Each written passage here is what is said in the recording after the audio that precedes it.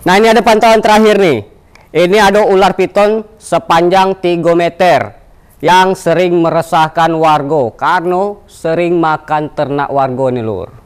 Tapi berhasil dievakuasi sama bapak-bapak damkar nih. Terima kasih Pak. Kayak mana pantauannya? Ini dia pantauan Bang Jack. Petugas dari Dinas Pemadam Kebakaran dan Penyelamatan Kota Jambi mengevakuasi ular piton saat hendak memangsa ayam peliharaan milik warga di Kelurahan Palima, Kecamatan Kota Baru, Kota Jambi. Petugas damkar Kota Jambi ini tampak berupaya keras mengevakuasi seekor ular piton yang tengah bersembunyi di kandang ayam milik warga.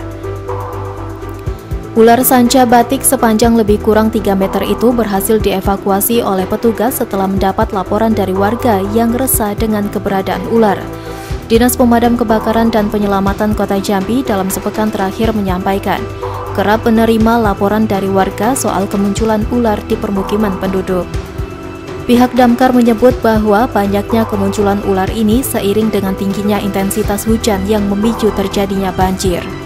Banjir menyebabkan tempat yang menjadi habitat ular tergenang air, sehingga ular mencari tempat yang lebih hangat, terutama tempat-tempat yang banyak tersedia makanan, seperti hewan ternak dan tikus. Uh, sekarang ya, memang karena daerah tempat habitat dia hidup kan sekarang uh, tergenang, dia mencari tempat yang hangat, ya, tempat yang hangat, terutama tempat yang memang tersedia makanan. Nah, kalau di tempat-tempat yang ada ternak seperti ayam atau tempat-tempat yang ada tikus, nah itu uh, sasaran bagi ular.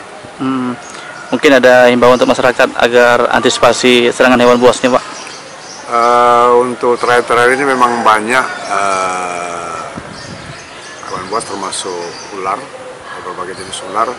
Itu sekarang uh, karena situasi banjir, sering hujan, jadi memang uh, lari ke rumah. Jadi kalau untuk masyarakat yang menemukan uh, ular di rumah ya segera hubungi uh, kami melalui call center 112 karena memang uh, ini kan berbahaya ada ular yang memang tidak berbisa dan bisa sedang dan banyak juga ular bisa tinggi yang datang.